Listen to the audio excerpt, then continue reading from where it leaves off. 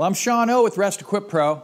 We're back here at the Rest Equip Pro table, and today we're talking about the RoboCoupe immersion blenders. And the first segment we're going to cover is the mini MPs, the smallest in the lines, the handhelds, if you will.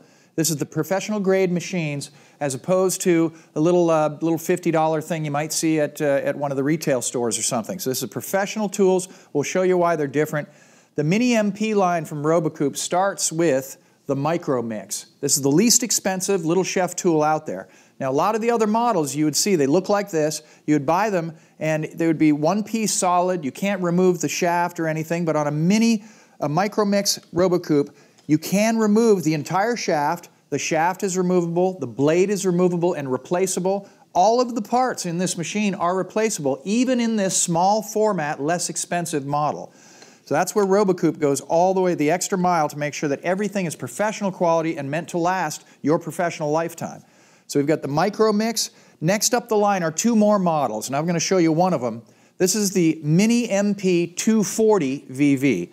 There is the number 190 below it, and all that is is shorter shaft length. This shaft's 8 inches long.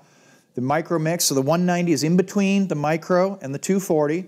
Then after the 240, we move up to the compact range we'll talk about later. The Mini MP240VV, VV stands for variable speed. The Micromix also has variable speed control on the top of the handle, so you can turn the speed up or down. Very useful for many different, types of products, as we'll see here in a minute.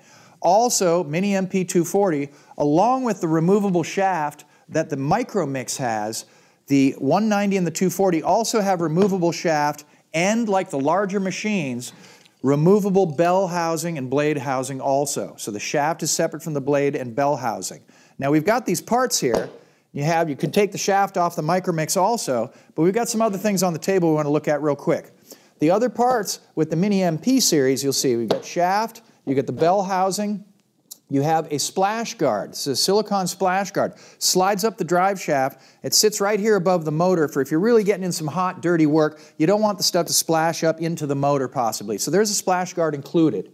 With this also is one of the most important pieces, and you see this little thing here dangling. This is a tool. This is the blade removal tool for all of the machines. The different series might have a different size for the larger machines, but this is what the tool looks like. And what it consists of is this device here and this right here, which is the wrench.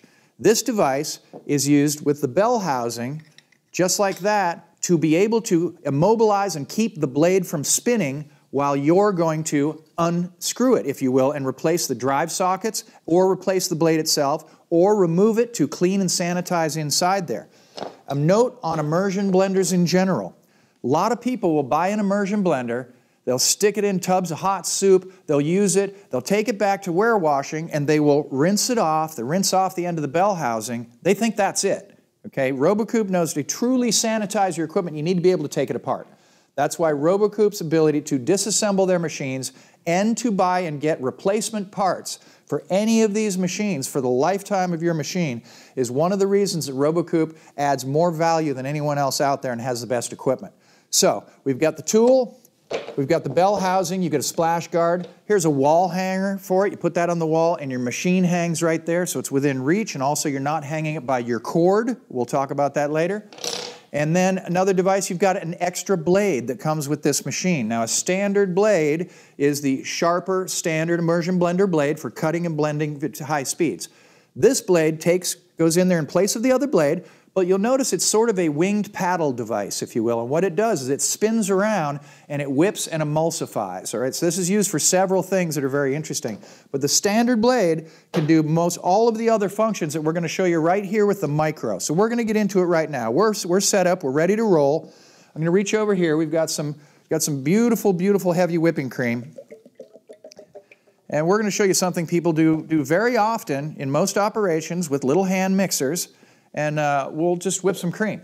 So we're going to take a look here. We'll notice start button right here, ergonomic handle. You'll notice all of the mini MPs and the largers have a forward-facing ergonomic handle, and the weight is designed to hang very comfortably.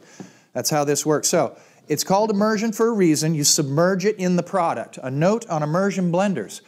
The theory in the industry is, is two sides. In, in most production cooking, you either take your food to the appliance or you bring your appliance to the food. So in this instance, immersion blending, we bring the appliance to the vessel. And that's very important here because it has to do with the size of the machines and why are there 28 different ones with RoboCoupe. Okay, the first thing is it's because the size of the shaft and the size of the machine dictates how large a vessel and how much material you can work with. So our micro mix here is good for anything small up to the height of the shaft. So you'll see our little, we're working with a little two quart right here doing the whipped cream. It's about halfway up the shaft. We could have a vessel up to the bottom of the motor right there, and that's what it's designed to do. All your vessels should be the height of the shaft and bell housing so that it's not so deep that you could submerge the motor in it while it's running. That's why there's 28 different models in various sizes. So we can start, hold that on, variable speed on top. I'm going to turn it all the way up. We're going to start low, and I'm going to see how we do here. Look at the action here. You see I can move it to get different action. You'll notice I have the bell down into the corner of the vessel. We'll talk about that too. It creates a vortex that helps to whip and blend the whipped cream. So we're going to take a look here. We're going to let this go and we're going to see what, how it comes out in just a minute.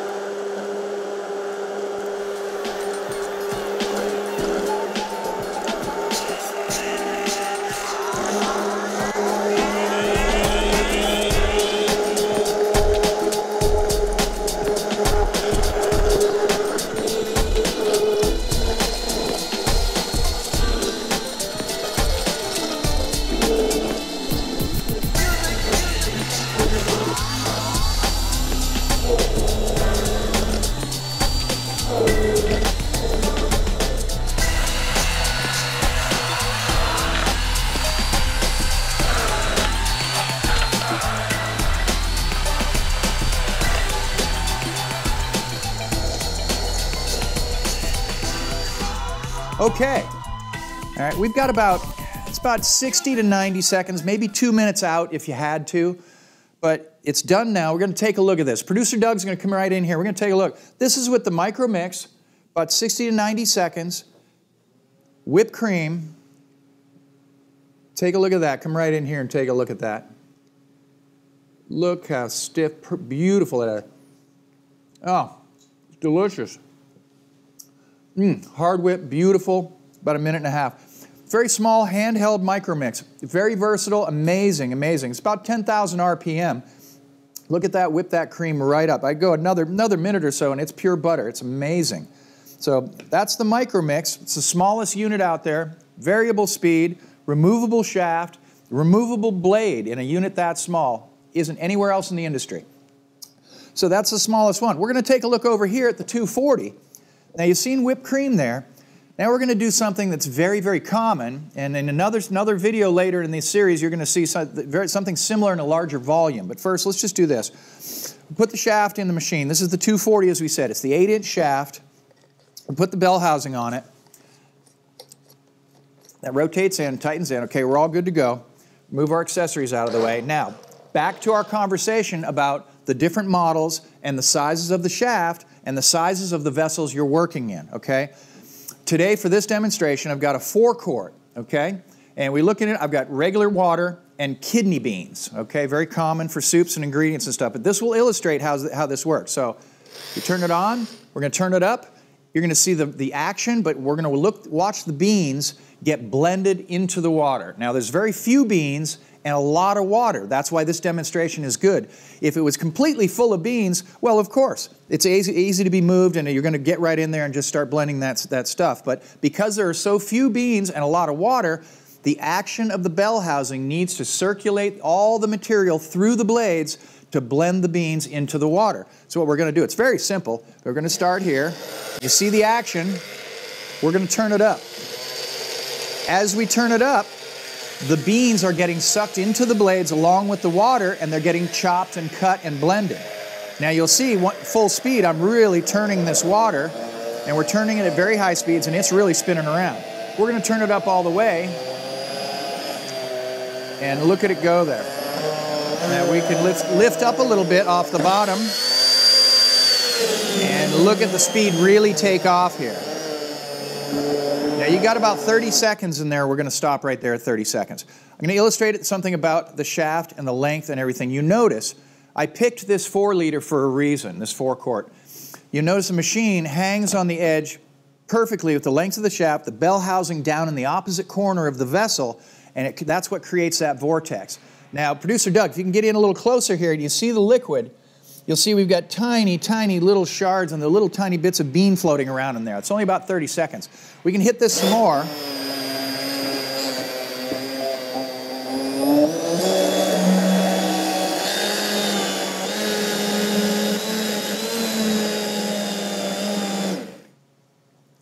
Okay, there we go. We're going to pull this out. Let's let this turn and settle. Now, if this was a, this was a big soup or a stew or cooked soup that you need to turn into bisque, which is probably the number one original application for immersion blenders out there. You know, they were invented in France. Robocoupe is from France also. And the immersion blenders were used mostly in giant, large industrial pots of soup and stew to blend the ingredients to make smooth bisque. It was very common. So that's kind of what I'm trying to illustrate right here. Now you take a look at the liquid, and that was about a half a cup of beans suspended in, in what is about, oh, about a half a gallon of water. So you see the action of the blades moving all the material through the bell housing to cut whatever's in there. So that's what an immersion blender is for. Now, once again, we mentioned the size of the shaft happened to be the depth of this vessel. That is how you size and buy your immersion blender, based on the largest vessel that you're going to be blending in. So very common. You'll see in our next series about the larger machines, the different types of vessels we'll talk about and what they're for. So here you go. That's the mini micro mix, the mini MP240 in the mini series with Robocoupe. We'll talk about the rest of the immersion blenders in another video. But remember to like and subscribe to the Rest Equip Pro channel because we try and bring you the very best. Because I'm Sean O, the Rest Equip Pro.